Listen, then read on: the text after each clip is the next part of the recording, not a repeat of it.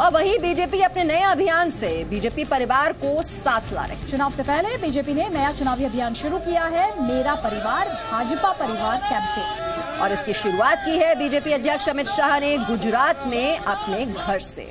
BJP के इस चुनाव अभियान का 2019 के लिए लक्ष्य क्या है देश हित में आप खुद समझिए।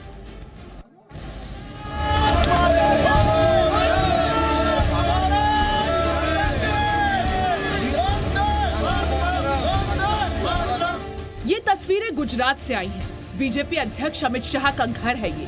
यहाँ अमित शाह ने अपने घर की दीवारों पर बीजेपी का ये नया स्टिकर लगाया। उनके साथ गुजरात के मुख्यमंत्री विजय रूपाणी भी थे। स्टिकर पर जो नारा लिखा है, उसे ध्यान से देखिए। मेरा परिवार, भाजपा परिवार। दावा है कि ये नारा 2019 के चुनाव में मोदी की जीत की गारंटी बनेगा। और ये चुनाव अभियान सफल होने के बाद महागठबंधन का बुलबुला भी फूट जाएगा। कहीं कहीं कहीं का रोड़ा बन गया भानुमति का कुंबा ना नेता है ना नीति है ना सिद्धांत है।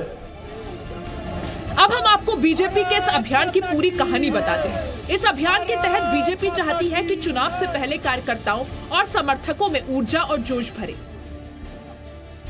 इसीलिए पाँच करोड़ घरों पर बीजेपी का झंडा और स्टिकर लगाने की तैयारी है।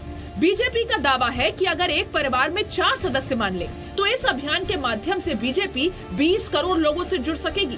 इसके अलावा मेरा परिवार, भाजपा परिवार अभियान से इसी बहाने मोदी सरकार की योजनाओं को भी घर घर तक पहुँचाने की कोशिश होगी। Bureau report, Zee media.